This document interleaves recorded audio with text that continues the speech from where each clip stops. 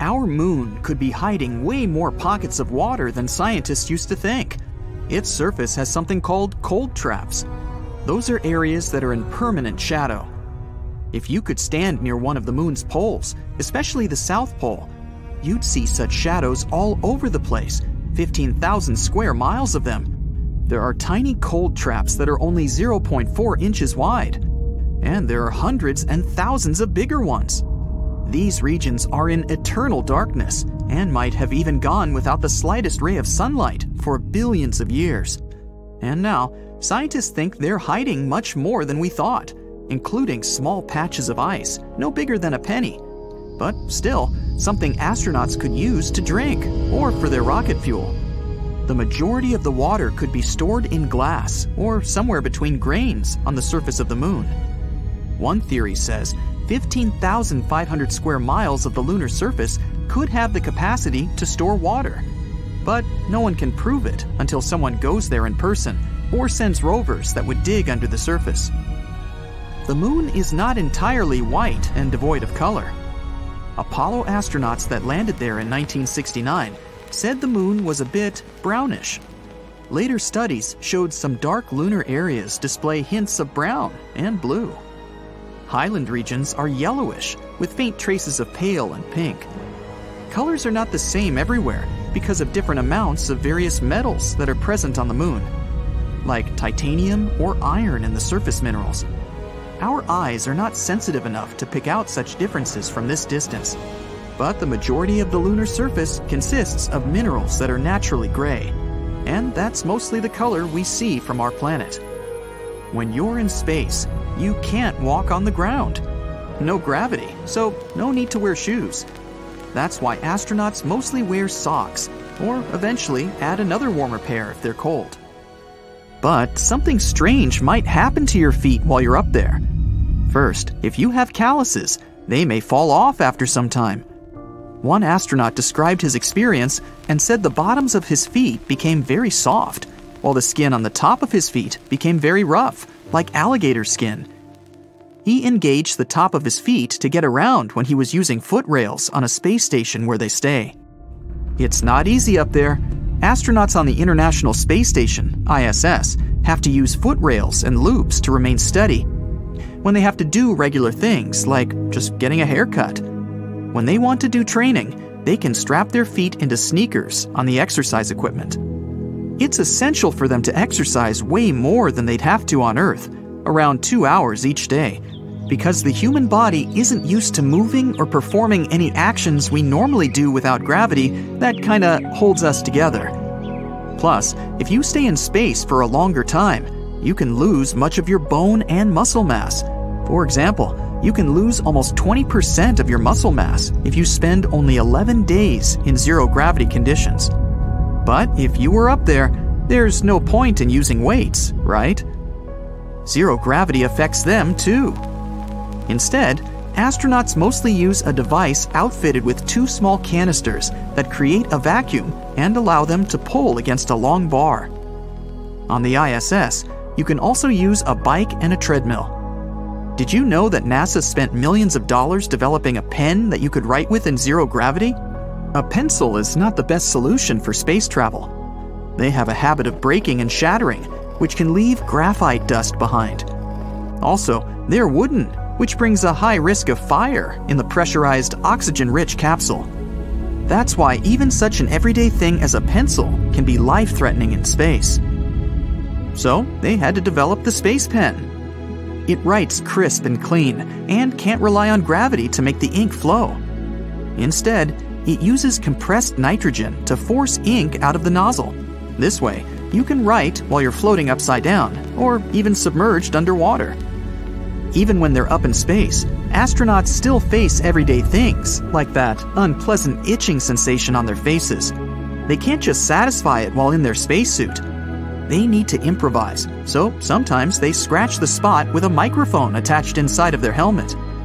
Sometimes they attach patches of Velcro inside their helmet for such things.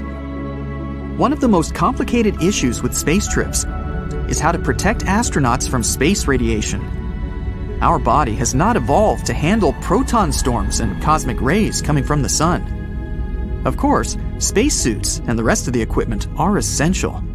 Some research also showed an antioxidant rich diet that usually includes a bunch of vegetables like spinach, tomatoes, and beetroot is promising when it comes to reducing the bad effects of radiation.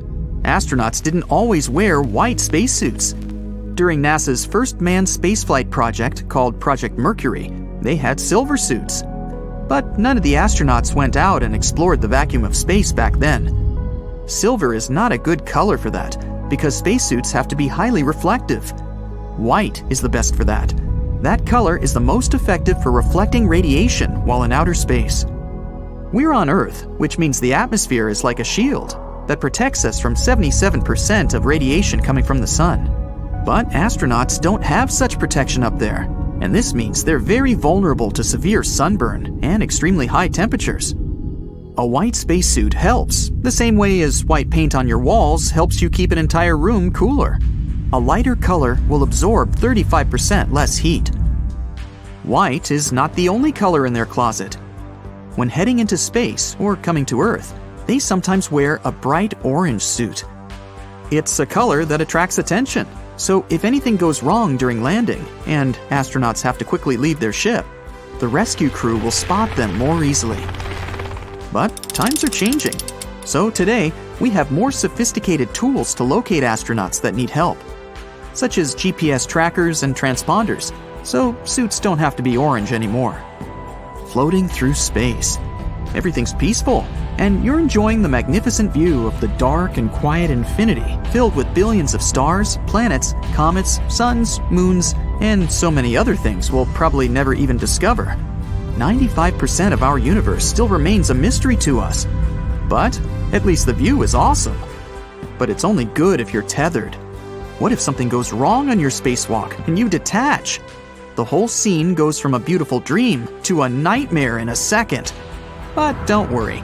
NASA has designed a special jetpack called SAFER, Simplified Aid for EVA Rescue. It fires compressed nitrogen from 24 thrusters which is how it can steer the astronaut back to safety.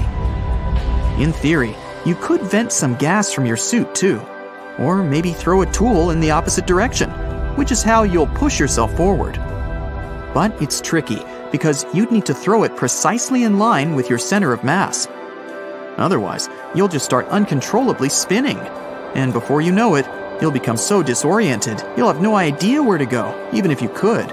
But SAFER will automatically detect rotation and use its jets to help you stay oriented towards the safe spot. It took scientists 10 days to teach a goldfish to drive a car. They taught it to move its own tank towards a certain target, and in return, the fish gets a treat. This research could help us navigate through space one day. There has to be some mapping happening in our minds that's how we potentially link our body parts and movements to changes we go through when we're in space. That's how we'll know how far we can extend our arm to reach for a cup of coffee without going too far and knocking the coffee over. The movement control is not the same as under the force of gravity, and we need to be sure if such maps in our brain differ between sea and land, or if it's something universal.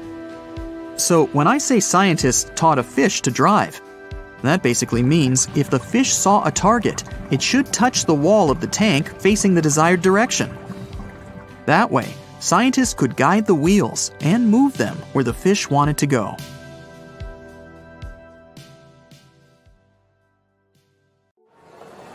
Behold the distant future. Yep, humans have successfully colonized Mars and the Moon. Problems with overpopulation and hunger on Earth are solved. But soon, a new threat looms over our planet, uh, excuse me, planets, and the moon. Anyway, scientists have figured out that in 150 years, the sun will explode and destroy our entire solar system. Bummer. There's enough time to build a fleet of huge spaceships and evacuate everyone, but it's not enough time to come up with some sort of sci fi space jump. It's been a long time since people found a new, potentially livable planet and the nearest one's a several million years ride away. There's no other choice. Humankind is evacuated into gargantuan spaceships, and the infinitely long voyage begins. A few decades pass. We leave the solar system and watch our sun explode. A huge flash, and that's it. There's no more light, just small, faraway stars and the infinite black depths of space. All ships are on a synced autopilot that won't go off course no matter what. Even if everyone on board were to disappear, the ship would still arrive at its destination. So, the upside, humans will survive for millions more years. The downside? Because of all of that time spent on space transports, will look different, totally different. Ships arriving to the new planet will be populated with shapeless, pulsating biomasses sitting inside metal exoskeletons. Here's how it happens bones in space get weaker, so do muscles. There's no gravity, so your body's not under any sort of pressure to keep it running properly. Astronauts on the International Space Station do a lot of exercise to stop their muscles from withering away. Ah, back to the story. There are gyms and special machines that recreate gravity on every space transport. But to save energy, they're only plugged in in a couple of hours per day. Unfortunately, no matter how hard people exercise, in space it just won't be enough. After the first hundred years, human bones have become so brittle that anything remotely physical can lead to injury. After another hundred years, people lose the ability to stand up on their two legs, but it's not only because of weak bones. After all those years in zero gravity, the human body's already changed a lot. A big problem is that people lose their sense of balance. If you try to stand up, you'll just fall. The ship's captains dismantled the gravity machines, they weren't working anyways, and all the sports equipment on board got taken apart ages ago and used as spare parts for the ships. The lack of gravity didn't just make people weaker, it also made them taller. The spine needs gravity to keep it stable, and now all those backbone discs have stretched themselves out. Humans are starting to look like blow up toys. Everyone's given mechanical arms and legs. You just strap them on and get to work. Servicing the engine, cleaning out the bedrooms, throwing trash out into space, lifting anything. Not happening without those mechanical arms and legs. Time passes, and people become more helpless. Luckily, the mechanical bodysuits keep getting better and better. Since the sun collapsed in on itself, human eyes have been having a hard time. Inside the ships, the sun is replaced by special artificial light that also gives off vitamin D. Since there's way less light overall, people's pupils become wider. Then, after a few more centuries, their vision really starts going downhill. But this problem is solved by technology. Artificial lenses magnify light and keep humans from going completely blind. The ships get disinfected every single day. That stops bacteria and microbes from multiplying. But it also means that the human immune system doesn't have to fight off any diseases. Pretty soon, humans can't defend themselves against anything. Even a mild cold could be seriously harmful. It's fine for now, there are no germs or anything on board, but what's going to happen later on down the road? On the ship, millions of plants grow in special greenhouses with water and ultraviolet light. The plants produce oxygen and spread it through the entire ship. Of course, it's not enough oxygen to satisfy millions, but it helps people remember the planet they left behind. After centuries of living on spaceships, humans have adapted to the new conditions and almost stopped breathing lungs have disappeared almost completely, and humans are starting to develop other ways of getting oxygen from water, from liquid oxygen tanks. We're becoming a totally new species. But it's not all bad. Genetic engineering is developing every year. Full fledged life support suits are created. They help with movement, strength, speed, vision, hearing, even speech. People's voices get so weak they can only speak in whispers. Luckily, the suits have built in microphones and speakers. There's no food anymore, just specially created liquids. After all that time in space, the human stomach can't digest anything anyway. Fancy a handful of peanuts or a small cracker? Forget it! In the beginning, the special space food had loads of flavor, but over time, people sort of forgot what things were supposed to taste like. Eventually, they stopped adding in flavorings, and because of this new tasteless food, tongue receptors stopped working. Soon, people lost all sense of taste. For some people, this life seems unbearable, but they have a choice. They can just slide on into a cryogenic capsule for millions of years. Then it's just a matter of a quick defrost when the ships finally arrive. But it's seriously risky to be frozen for such a long time. There's no guarantee that the ships won't crash into a huge meteorite, or worse. People start to take a different approach. They upload their consciousness to a central computer. It's safer and requires much less power. And when you wake up, you can just download your mind into a new modified human suit. Some people decide to stay awake and live a quote normal life. Thousands of years pass, then millions. Humans look really different now. All their limbs are now artificial, and the exoskeletons they wear are controlled by mind power. With each passing millennium, arms, neck, legs, and spines, they become smaller and smaller. Brittle bones soon dissolve into nothingness. Eyes, nose, and mouths disappear. The brain isn't protected by a skull anymore, it's just surrounded by soft skin. Only consciousness remains. Nowadays, a human is a powerful high tech robot ruled over by a small pulsating bag filled with a brain. It's been a few million years since humans left Earth. All the ship's inhabitants have already forgotten that their species was born on a planet with gravity. The history of life on Earth has become a myth, an ancient legend. Most people believe that these ships are their true homes, always have been. That's why, when humans finally reach their destination, no one's that eager to get off and have a walk around. Life on a new, unknown planet seems like a huge pain in the spacesuit. Gravity, air, bacteria, germs, it takes several thousand years of evolution for humanity to get used to these new conditions. Luckily, humans have a secret weapon technology. At this point, all humans are downloaded from the central computer into new robot suits. People face a choice get off the ship and make this planet their new home, or stay and live on the ships. Those that stay on the ships set off into the expanses of space to explore the galaxy and discover new worlds. Those who decide to stay on the new planet have to adapt to the new conditions. It's pretty different from Earth. There's a different air density, different weather patterns, and strange new chemical elements.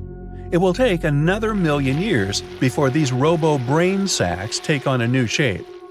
One day, these distant human descendants will want to research their origins. They'll invent a ship that can jump through space and time. The research will lead them to the distant past, to the small planet Earth, to now. This might sound crazy, but just imagine that tomorrow someone lands in your backyard and they're your descendants from the future. Those passengers who stayed on the ships will probably find new planets and maybe decide to stay on some of them. Their bodies will change and adapt too.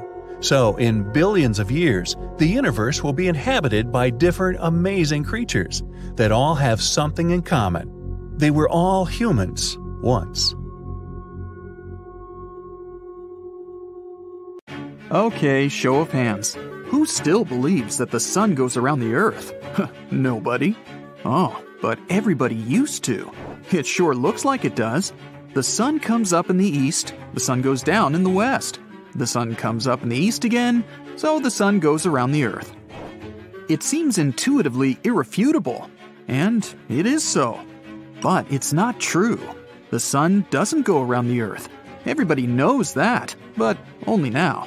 So, why do people still believe the moon goes around the Earth? It's not true either. We have to go back over 500 years to begin to get an idea of how hard it is for science to change universally accepted facts. Nicholas Copernicus, around 1510, was the first to propose a heliocentric, sun centered solar system, but he didn't do it publicly. Copernicus privately circulated letters to other astronomers explaining why the accepted fact of an Earth centered solar system should be scrapped in favor of a more straightforward, more astronomically correct, sun centered solar system. Copernicus's difficulty in promoting the sun centered solar system depended on another bold conceptual innovation that the Earth rotates. Copernicus's concept of a rotating Earth flew directly in the face of five literal statements in the Bible that the earth was founded on a fixed foundation never to be moved. And the Catholic Church wasn't about to let that worldview be challenged or changed. Copernicus had too much to lose to go public with his revolutionary, pun intended, heliocentric theory as a churchman himself. 100 years later, Galileo Galilei wasn't so reticent. Galileo had observational proof to back him up because he had a telescope. In early 1610, Galileo first observed the moons of Jupiter and kept track of their orbits. Yes, the moons of Jupiter do orbit around Jupiter. They go round and round the giant planet in actual orbits, unlike, as we shall soon see, how our moon travels around the sun with the Earth. Galileo became famous, or infamous, as the case may be, because he discovered orbital motions that were not heliocentric, that did not fit the accepted worldview. It rattled civilization's Earth centered cosmology. Galileo was indeed revolutionary. Later in 1610, Galileo observed through his telescope, which only had an aperture of one and a half inches, the planet Venus going through phases, just like the moon goes through stages. Galileo wrote that Venus imitates the moon, in Latin, in his notebook. There could be no other explanation for these observations. Venus was orbiting the sun. People were afraid to look through Galileo's telescope when he set it up in the Great Square of Pisa. They were too scared to have their worldview revolutionized. Strange as it may seem, we are experiencing something similar to that now concerning the moon orbiting the sun and acting like a double planet with Earth. People, scientists included, stubbornly persist in viewing the moon as its clever official International Astronomical Union name. It's a moon of the Earth, orbiting around the Earth, showing its different phases throughout the lunar month, or moonth, as moon fans sometimes like to call the 29 and a half day cycle of lunar phases. Moon lovers' favorite day of the week, of course, is Moon Day. It comes right after Sunday. But back to the science. It's how our school books portray the phases of the moon. It's what people believe now. Notice how the Earth is the moon's center, and how it goes around the Earth in a circular path. This is the geocentric view of the moon. It's what we see from Earth. The moon comes up, the moon goes down. The moon comes up again. The moon goes around the Earth. But that's not what's happening in space. It's way past time we Copernicize the moon. We need to start seeing the moon from a heliocentric point of view, as we do for everything else in the solar system. First of all, the geocentric view of the moon's phases shows the Earth stationary, sitting in the center of the moon's path for a whole moon, uh, month. But the Earth is not stationary at all. We're zooming around the sun at a very high speed anywhere between 66 and 68,000 miles an hour. Therefore, any picture of the moon going around a stationary Earth is profoundly misleading and really outright wrong. The heliocentric view of the Earth and Moon moving together in space should look something like this. Notice that the Moon is not going around the Earth, it's traveling along with the Earth, around the Sun. The path of the Moon around the Sun is a sinusoidal path back and forth, back and forth, across the ever forward moving path of the Earth. Notice that the moon always goes forward too. It doesn't ever go backward to either the sun or the Earth. By always moving forward and sinusoidal, the path of the moon does not qualify as an orbit in the same sense that the other moons of the solar system orbit their planets in elliptical paths. Therefore, it is wrong to say the moon orbits the Earth the moon orbits the sun along with the Earth, or the moon and the Earth both orbit the sun, are statements Copernicus and Galileo would approve of. But science today has difficulty accepting a heliocentric view of the moon. Maybe there would be too many books that need to be reprinted. Maybe too many astronomy professors would have to admit that they were wrong their whole careers. Accordingly, Objections are put forward to block the revolutionary heliocentric view of the moon from being universally accepted. One such objection is that the moon never leaves the Earth's gravity well, and therefore should be rightly considered a moon of the Earth, an orbital, to use the astronomical term for satellite. Undoubtedly, the moon never leaves the Earth's gravity well, or else we would lose the moon. However, representations of this well known definite fact always show the moon moving around the Earth inside the gravity well. And this is not true. The moon never goes back toward the Earth, as it would need to if it were in an elliptical orbit. So the gravity well objection can be dismissed because the astronomers who propose as orbital evidence that the moon always stays within the Earth's gravity well fail or neglect to include the facts of the moon's continuously forward sinusoidal motion. Escape velocity for the moon to leave Earth's gravity well is reported to be about 2,684 miles per hour. Relative to the Earth, the moon presently moves about 2,238 miles per hour. What kind of impact would it take to accelerate the moon that extra 450 miles per hour needed to knock it out of Earth's gravity well? If anyone wants to compute that, you're most welcome to put your answer in the comments section. Maybe it could happen, and that would not be good. There's another objection to looking at the moon from a heliocentric point of view, and that involves the barycenter of the Earth Moon system. The barycenter is the center of gravity between the Earth and the moon. Think of yourself on a seesaw in the park. The other end of the seesaw is a massive lineman from a professional football team. How far forward towards you would the lineman have to move so that you both are balanced evenly? He'd have to move towards you almost to the center of the seesaw. You are the moon, and the lineman is the Earth, although Earth is a feminine name. The balance point of the Earth Moon system, the barycenter, is over 1,000 miles inside the Earth. It is this balance point, astronomers dutifully point out, that is orbiting the Sun. It is a heliocentric point of view. Copernicus and Galileo would approve. However, these astronomers always seem to add the geocentric animation of the moon orbiting around the Earth, with the barycenter inside.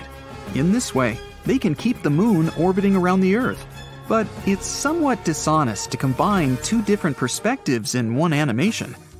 you can't have your cake and eat it too.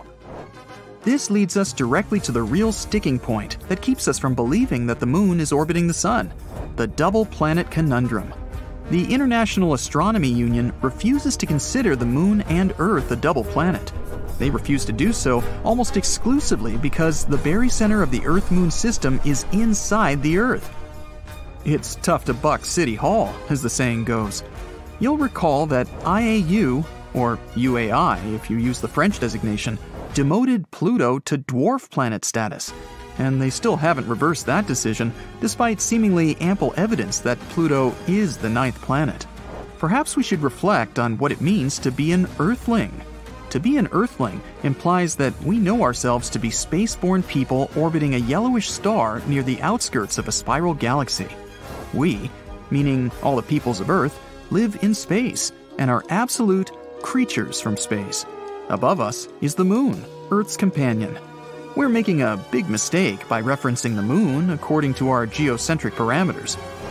Our conceptual expansion into space is inhibited by an incorrect, outdated, earthbound view of the moon. The universe doesn't revolve around us, and neither does the moon.